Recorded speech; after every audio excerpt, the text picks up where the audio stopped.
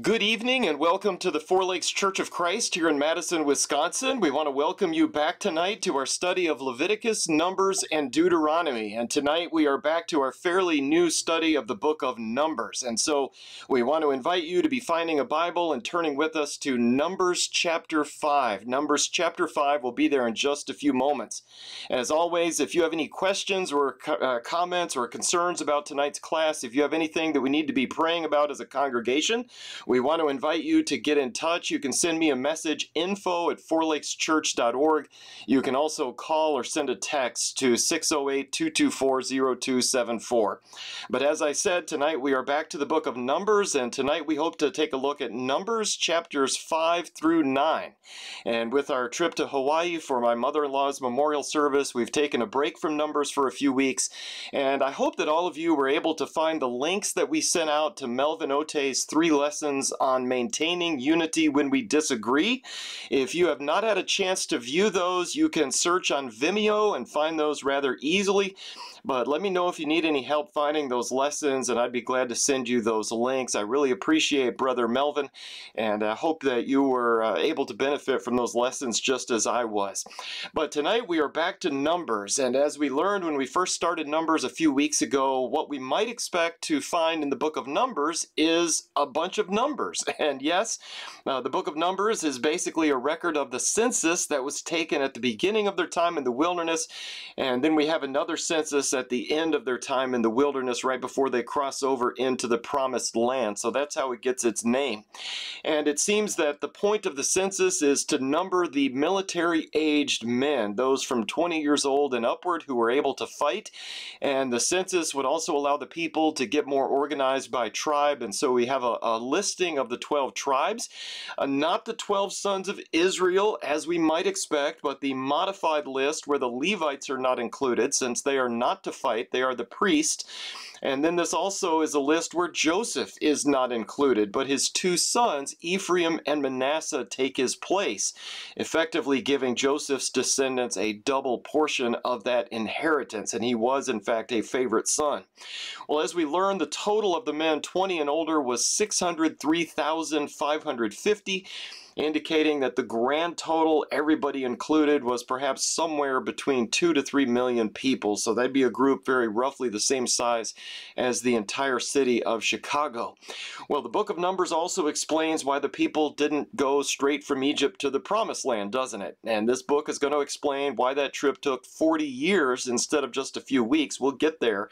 But this was due to their lack of faith and their rebellion, and Paul certainly uses this as a warning to us not to rebel, not to complain and whine just as they did over in 1 Corinthians chapter 10. So tonight we have something of a variety pack. There's not one unified theme, but these chapters we're kind of putting together uh, because of the miscellaneous nature of what's in here. So let's take a look tonight at chapters 5 through 9. And let's jump right into it tonight with Numbers chapter 5, where God emphasizes the importance of purity in the camp. And we won't read every verse in this chapter, but let's at least start with Numbers 5, verses 1 through 4. Numbers chapter 5, verses 1, 2, 3, and 4. Then the Lord spoke to Moses, saying, Command the sons of Israel that they send away from the camp every leper and everyone having a discharge and everyone who is unclean because of a dead person. You shall send away both male and female, you shall send them outside the camp, so that they will not defile their camp where I dwell in their midst. The sons of Israel did so and sent them outside the camp, just as the Lord had spoken to Moses. Thus the sons of Israel did. Here at the beginning tonight, we have just the uh, reminder that those who are unclean are to be sent away from the camp. I think earlier we learned about this in theory, we might say. That is, when the law was first given, we saw the uh, law come from the Lord. But this seems to be where it actually starts. In other words, right now, those who are unclean in the camp need to leave. They need to remove the unclean from the camp. And this is exactly what they do. So they execute the law. They do what the law requires. And so in verse 4, the people actually remove those who are unclean from the camp, uh, just as they were instructed to do.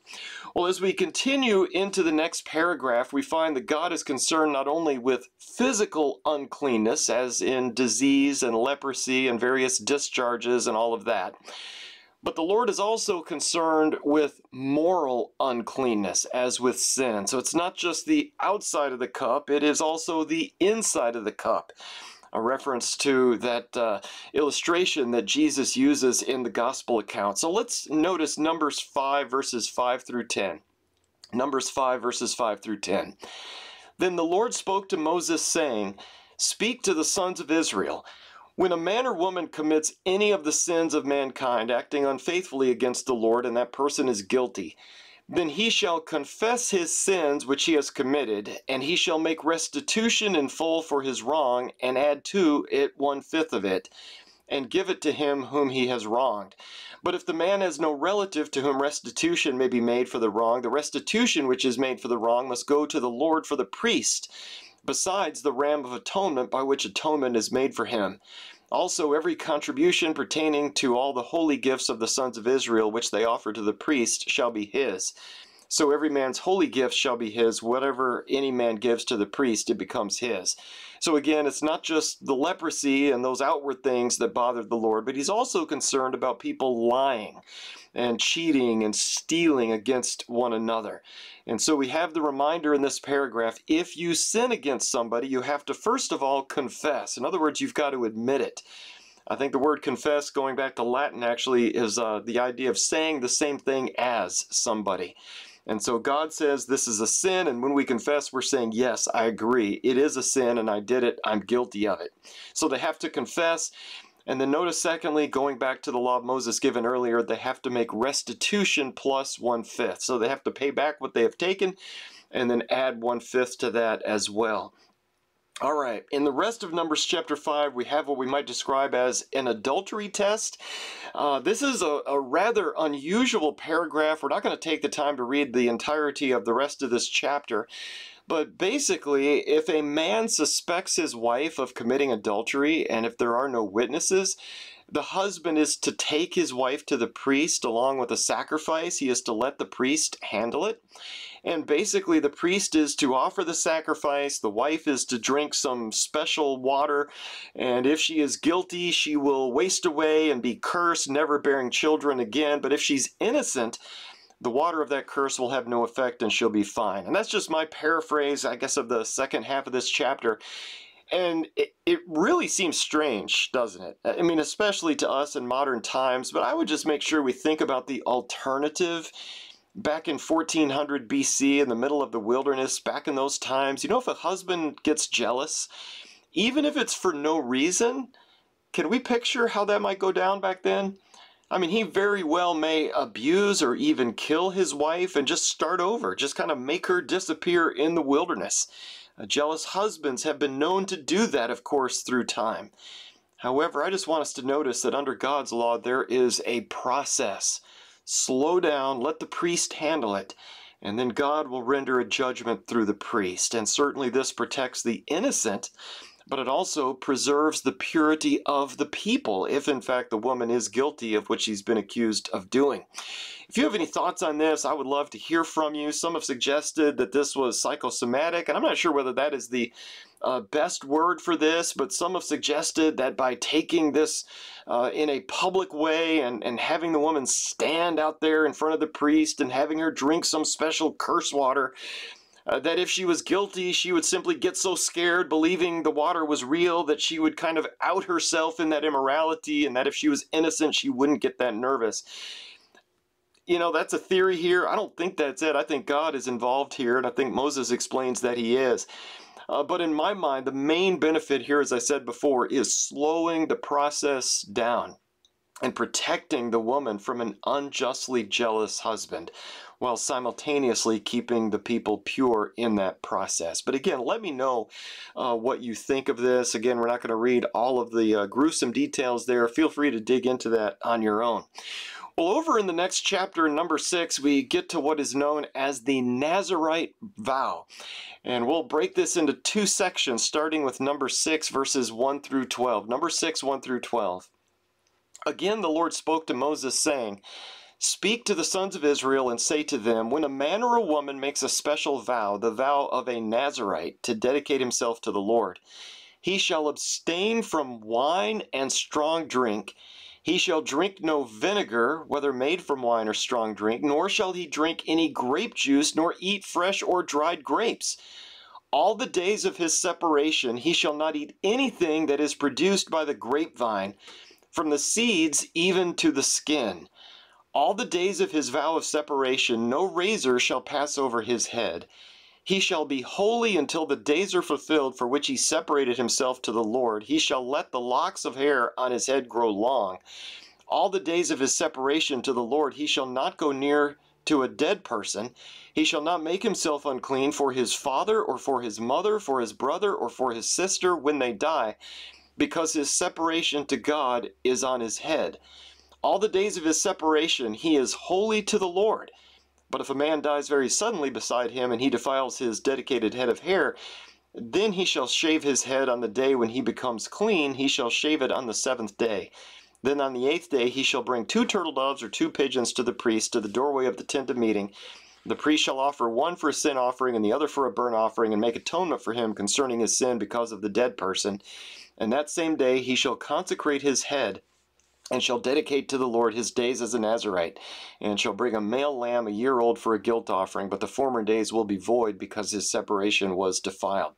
Well, I know it's a lot there, but what we're dealing with here is some kind of a special vow. So this is not required. This is not something everybody has to do. But as I understand this, if somebody wants to go above and beyond in their dedication to God, if they really want to get close to the Lord, maybe in a way that they hadn't before, this is how to do it. And notice first on the list is no wine or strong drink. In fact, someone who takes this vow cannot even eat a grape, not fresh, not even a raisin. You can't touch raisins. And again, this is above and beyond. And you know, if you'd like something to think about, I, you know, I would encourage you ask yourself, what about wine and strong drink and raisins for those who do not take this vow? I mean, obviously, this is above and beyond. Well, the second requirement is that a person taking this vow must not cut his hair, but he is to allow his hair to grow long. I think some of my uh, friends and loved ones perhaps have taken the Nazarite vow without my knowledge, but uh, they were not allowed to cut their hair. And then thirdly, notice a person taking this vow is also not to go near a dead body.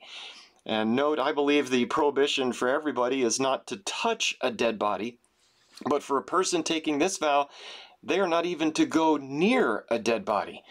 And the other thing here is that there is no exception for close relatives. If you remember, we learned earlier that normal people could handle their dead relatives, with the exception of the high priest, who could not go near any dead bodies for any reason, even those of his own family. And so, as I understand it, the person taking this vow is basically matching the requirement of the high priest in this regard. They are kind of being super duper extra holy, above and beyond. And so the vow does explain, however, what to do if somebody dies suddenly in your presence. That's kind of interesting. Uh, sometimes it happens. I suppose without planning for it, you could be next to somebody who drops dead and touches you on the way down. And uh, God certainly has an allowance for that. You didn't intend to, but the dead guy kind of touched you in a sense. Um, and there's something else that really surprised me today, and I don't know whether I'd ever really thought about it before or if I just kind of read over this verse without thinking through it. But did you notice that the Nazarite vow is open to both men and women? I guess I had assumed that this was only something that the men could do, but the Lord very clearly says in this passage that this is an option for both men and women, doesn't he? Up in verse 2. And and again, that was surprising to me. I did not realize that.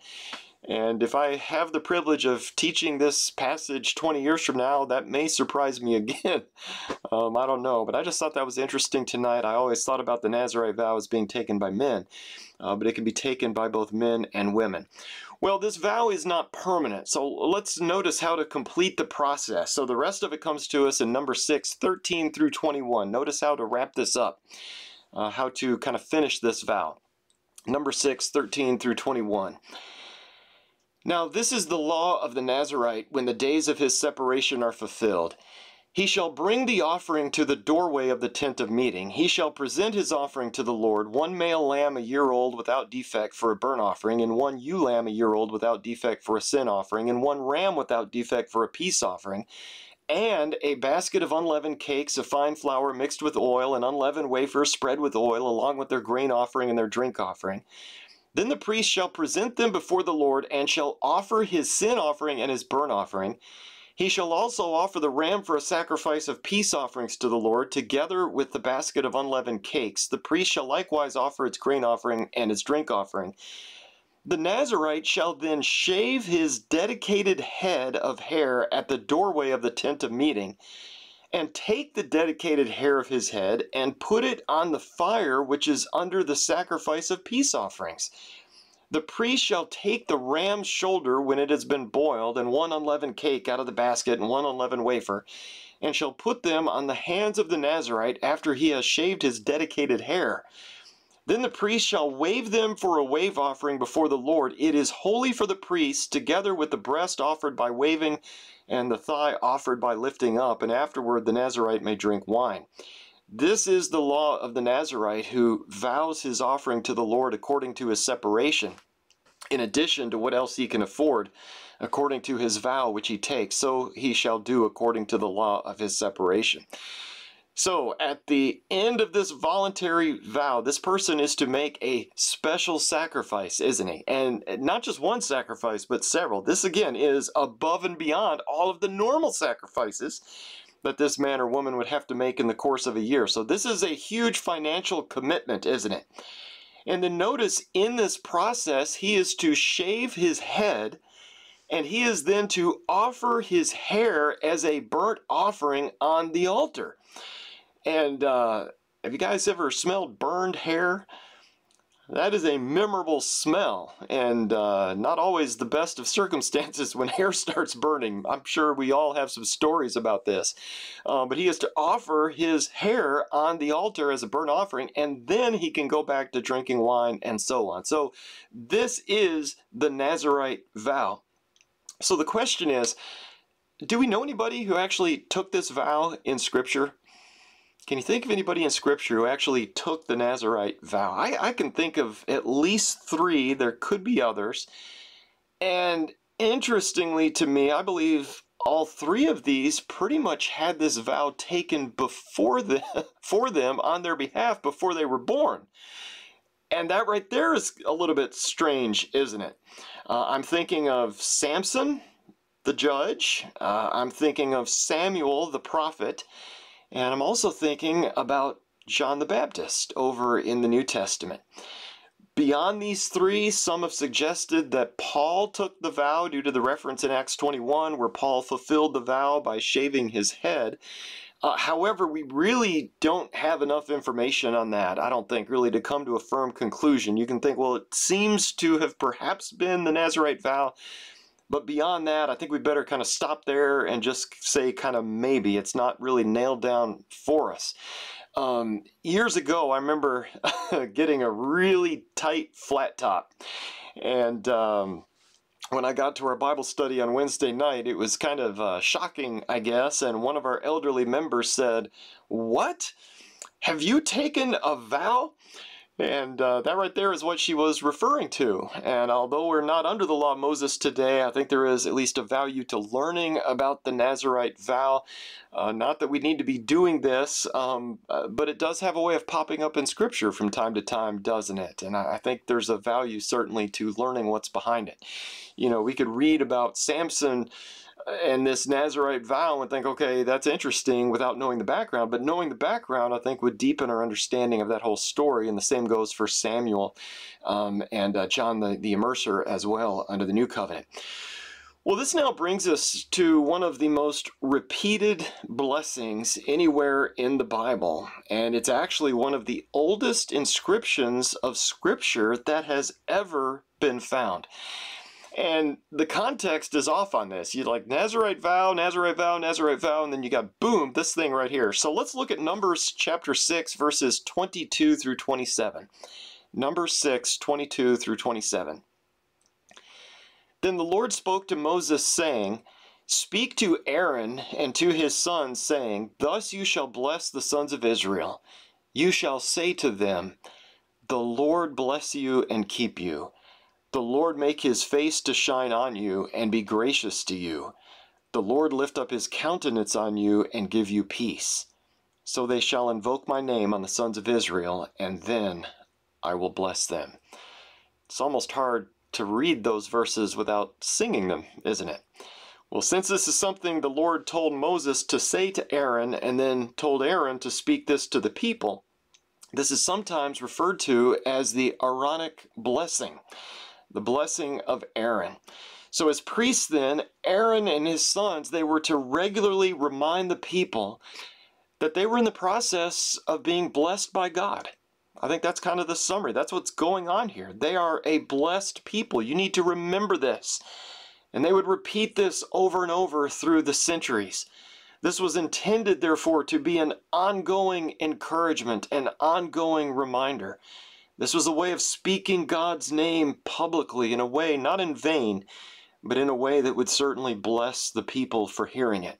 And as I alluded to earlier, not too long ago, I think in the 70s or 80s, uh, archaeologists actually discovered this blessing on what is now one of the oldest pieces of scripture ever found. Uh, this blessing was inscribed on a thin sheet of silver. And this piece of silver, I, I, didn't look up the measurements. I've seen it a number of times. It's maybe three quarters of an inch wide by four to six inches long. And it was very thinly, I, I don't know, pounded silver. You don't really shave silver, but uh, it was very thin silver. And it was then rolled up like a tiny scroll. And it's almost like something we would do in middle school to pass a note to somebody or something like that. A, a tiny print rolled up, and they found it inside an amulet, I believe, that would be worn on a necklace, something that somebody could take with them and, and have next to their body 24 7 and they've dated this to some point in the 7th century BC. And I just want to point that out because you'll see that in the news from time to time. More research will be done on this, but this is one of the oldest uh, pieces of scripture that uh, that we actually have. Uh, Numbers chapter seven is actually the longest chapter in the Pentateuch, the first five books of the Bible. It's pretty much a repetition of what we've already studied in Exodus 40 uh, with a little bit more detail. So it, it, doesn't seem to fall in chronological order here. But, but I want us to move forward from chapter 6 into chapter 7. Uh, let's just briefly introduce it by looking at number 7, 1 through 3. Number 7, 1 through 3. Now on the day that Moses had finished setting up the tabernacle, he anointed it and consecrated it with all its furnishings and the altar and all its utensils. He anointed them and consecrated them also.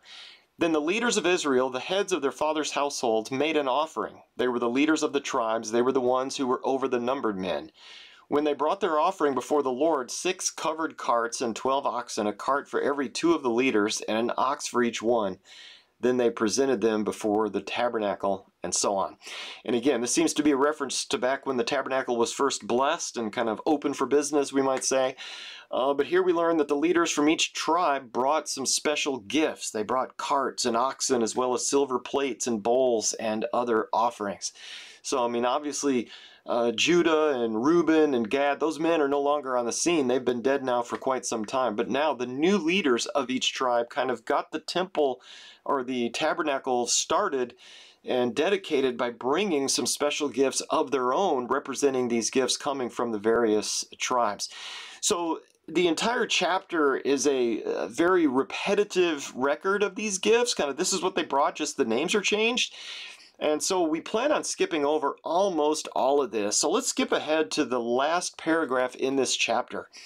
And let's just pick up with uh, Numbers chapter 7, verses 84 through 89. Number 7, 84 through 89. This was the dedication offering for the altar from the leaders of Israel when it was anointed. Twelve silver dishes, twelve silver, silver bowls, twelve gold pans, each silver dish weighing 130 shekels, and each bowl 70 all the silver of the utensils was 2,400 shekels, according to the shekel of the sanctuary. The 12 gold pans full of incense, weighing 10 shekels apiece, according to the shekel of the sanctuary. All the gold of the pans, 120 shekels. All the oxen for the burnt offering, 12 bulls. All the rams, 12. The male lambs, one year old, with their grain offering, 12. And the male goats for a sin offering, 12 and all the oxen for the sacrifice of peace offerings, bulls, all the rams 60, the male goats 60, the male lambs one year old 60. This was the dedication offering for the altar after it was anointed. Now, when Moses went into the tent of meeting to speak with him, he heard the voice speaking to him from above the mercy seat that was on the ark of the testimony, from between the two cherubim, so he spoke to him. So we've got this whole chapter of the details, and now Moses at the end gives a summary of all the offerings that were brought by the leaders of each of the 12 tribes. And at the end of it, we find that God speaks to Moses from above the mercy seat. All right, in Numbers chapter 8, we've got some more repetition based on what we've learned previously. So I just want to uh, give the brief outline here. Again, we're not going to read every verse in this chapter, but in verses 1 through 4, we have the lampstand being uh, installed or deployed, set up, you know, kind of lit, and, and we're on it now, and it's, it's working. In verses 5 through 22, we've got the cleansing of the Levites, preparing them to serve in the tabernacle. And one thing I don't think I've noticed before is that in verses 9 and 10, Moses is told to assemble the whole congregation of the sons of Israel, and he is to present the Levites before the Lord, and the sons of Israel shall lay their hands on the Levites. I don't remember that part of it from previously in Scripture. And, you know, we've got a number of reasons for the, uh, the laying on of hands in Scripture. You know, sometimes if you lay hands on somebody, it just means you're fighting. You're, you're hitting people. And, and we say that today. I think cops, you know, had to lay hands on somebody kind of thing. And so it's not that. In Scripture, though, sometimes for miraculous healing, we no longer have that part of it today. Sometimes they would lay hands on people to transmit the ability to perform miracles. We no longer have that today. But here we have the idea of setting these people apart for some special service. So this was the people's way of saying, you are now our priest. Remember how the, the high priest had to lay his hand on the top of the scapegoat and he was like transmitting the sins, saying, you know, you're now the goat that's, that's hauling the sins out. I don't know if it's a similar thing, but in reverse. But the people are laying their hands on the priest. They're basically saying, you are now our priest. And I think in that regard, we still do have this today. The laying on of hands is something that we still have the ability to do. Not the miraculous part of it, not beating people up. Certainly not that one is not recommended anyway. And uh, but the idea of appointing elders or deacons, for example, not in a miraculous sense, but in the sense that the people laid their hands on the Levites in verse 10, setting them aside for a special purpose. In verses 23 through 26, we've got the retirement age of 50 being given for the priests who were serving in the tabernacle. As we've discussed before, it was difficult, very strenuous physical work sometimes. I mean, you were directing animals, slaughtering animals, basically butchering and grilling those animals uh, day after day after day. So very physically demanding. And after the age of 50, they could assist as needed, but they were relieved from full-time priestly duties at the age of 50. So that's just Numbers chapter 8 in a nutshell. Uh, let's continue with one more chapter tonight, Numbers 9. And we've got two sections here. And we'll start with Numbers 9, 1 through 14. I hope you have that in your own Bible, but Numbers 9, 1 through 14. Thus the Lord spoke to Moses in the wilderness of Sinai, in the first month of the second year after they had come out of the land of Egypt, saying, Now let the sons of Israel observe the Passover at its appointed time on the fourteenth day of this month at twilight you shall observe it at its appointed time. You shall observe it according to all its statutes and according to all its ordinances. So Moses told the sons of Israel to observe the Passover. They observed the Passover in the first month, on the fourteenth day of the month, at twilight, in the wilderness of Sinai. According to all that the Lord had commanded Moses, so the sons of Israel did. But there were some men who were unclean because of the dead person, so that they could not observe Passover on that day. So they came before Moses and Aaron on that day. Those men said to him, Though we are unclean because of the dead person, why are we restrained from presenting the offering of the Lord at, at its appointed time among the sons of Israel? Moses therefore said to them, Wait, and I will listen to what the Lord will command concerning you. Then the Lord spoke to Moses, saying, Speak to the sons of Israel, saying, If any one of you or of your generations becomes unclean because of a dead person, or is on a distant journey, he may, however, observe the Passover to the Lord. In the second month, on the fourteenth day at twilight, they shall observe it. They shall eat it with unleavened bread and bitter herbs. They shall leave none of it until morning, nor break a bone of it. According to all the statute of the Passover, they shall observe it. But the man who is clean and is not on a journey and yet neglects to observe the Passover, that person shall then be cut off from his people. for he did not present the offering of the Lord at its appointed time. That man will bear his sin. If an alien sojourns among you and observes the Passover to the Lord according to the statute of the Passover and according to its ordinance, so he shall do. You shall have one statute, both for the alien and for the native of the land. So th- this is now the second Passover. The first was in Egypt. This is now the first one in the wilderness. And I, I you know, this there's some repetition here also. Uh, we've already got the details from the study of Exodus and Leviticus. But here uh, we have an interesting question that I don't think is addressed previously. Some were wondering, what if it's Passover time and we happen to be unclean? And it seems to me uh, it said something about the dead person. So not if we touch a dead person, but it seems as if there had been an incident. And so they approach Moses and basically say, wait a minute we had to deal with this thing. Does that mean that we missed the Passover completely? Are we just completely out of luck? Do we miss it this year? You know, it doesn't seem very fair. And notice in response, God allows them to celebrate Passover a month later. However, they had better have a valid excuse. You can't just be sleeping in on Passover and say, well, I'll catch it next time. Uh, you know, on the makeup day a month from now. That's not how that works. Um, but if they don't have that valid excuse of being unclean or on a long journey, uh, they will actually be cut off from their people. They will be kicked out of the camp. So that's kind of an interesting exception to the rule. Well, let's close tonight by looking at the last paragraph in Numbers 9, Numbers 9, 15 through 23. Numbers 9, 15 through 23. Now, on the day that the tabernacle was erected, the cloud covered the tabernacle, the tent of the testimony, and in the evening it was like the appearance of fire over the tabernacle until morning. So it was continuously. The cloud would cover it by day, and the appearance of fire by night. Whenever the cloud was lifted from over the tent, afterward the sons of Israel would then set out. And in the place where the cloud settled down, there the sons of Israel would camp. At the command of the Lord, the sons of Israel would set out, and at the command of the Lord they would camp. As long as the cloud settled over the tabernacle, they remained camped. Even when the cloud lingered over the tabernacle for many days, the sons of Israel would keep the Lord's charge and not set out. If sometimes the cloud remained a few days over the tabernacle, according to the command of the Lord, they remained camped. Then, according to the command of the Lord, they set out. If sometimes the cloud remained from evening until morning, when the cloud was lifted in the morning, they would move out. Or if it remained in the daytime and at night, whenever the cloud was lifted, they would set out. Whether it was two days or a month or a year that the cloud lingered over the tabernacle, staying above it, the sons of Israel remained camped and did not set out, but when it was lifted, they did set out. At the command of the Lord they camped, and at the command of the Lord they set out. They kept the Lord's charge according to the command of the Lord through Moses. So once again, we're reminded that God guided his people, didn't he?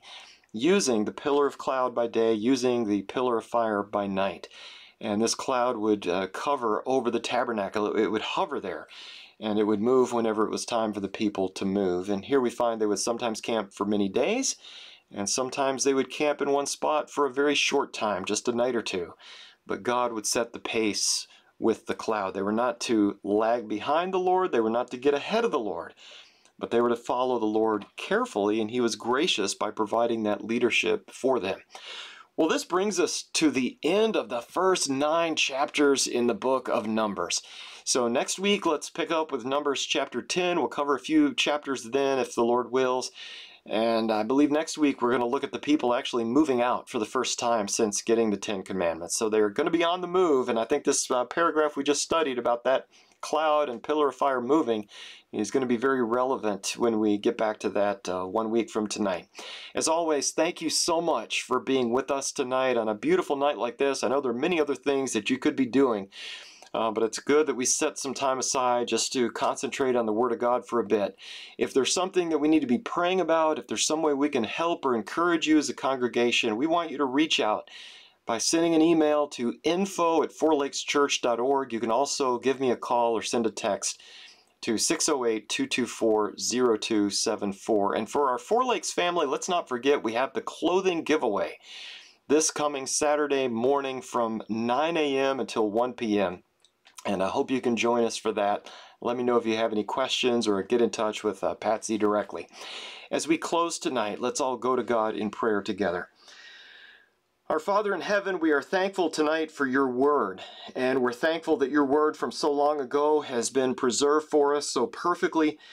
We're thankful for bits and pieces preserved in tiny scrolls, and we're certainly thankful for the more complete copies that have been copied so faithfully by your people through the years. We're thankful for the translations that we have today from Hebrew and Aramaic and Greek into the English language so that those of us listening tonight can read your word for ourselves we no longer have to trust what other people tell us about your word, but we can open it and we can look and we can study in our own language. What an amazing blessing that is. Thank you, Father, for that.